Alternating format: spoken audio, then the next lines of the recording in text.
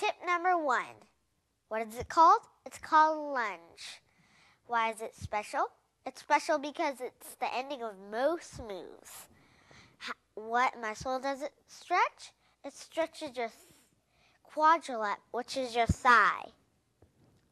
How do you do it? First, you stand up, arms up, good leg forward, and bend your good leg. Good job. Let's do it five times. And counting to five. One, one, two, three, four, five.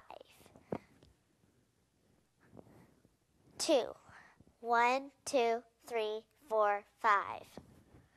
Three, one, two, three, four, five. Four, one, two, three, four, five. Five.